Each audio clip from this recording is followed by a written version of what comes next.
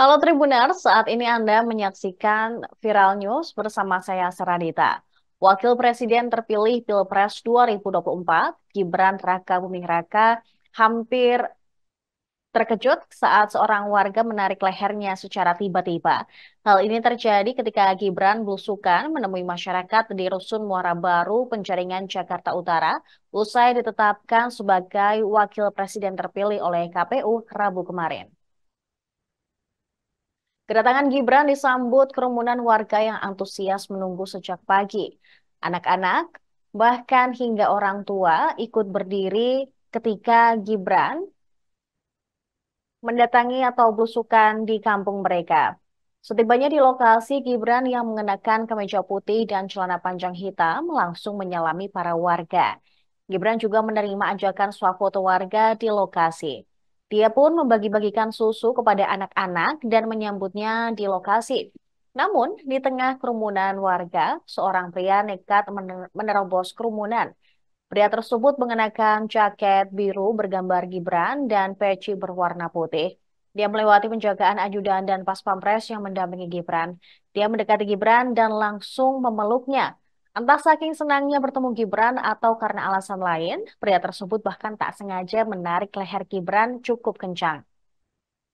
Ini membuat Gibran langsung terkejut. Para ajudan dan pas pampres pun bergerak cepat bereaksi menjaga Gibran. Salah seorang ajudan langsung mendekap dan memiting leher pria itu. Pria tersebut dibawa untuk mundur menjauhi kerumunan. Dia tampak masih ngos-ngosan setelah dipiting dan ditarik mundur oleh ajudan Gibran untuk keluar dari kerumunan. Diketahui agenda ini merupakan kunjungan pertama Gibran ke masyarakat setelah ditetapkan sebagai wakil presiden terpilih oleh Komisi Pemilihan Umum.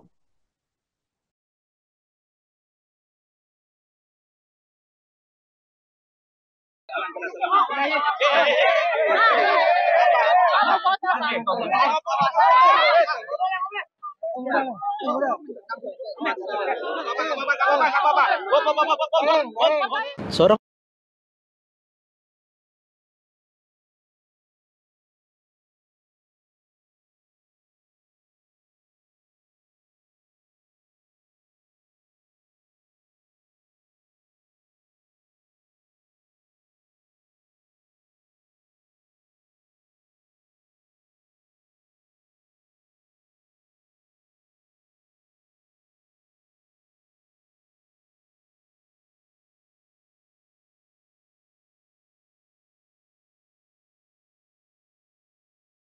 Get.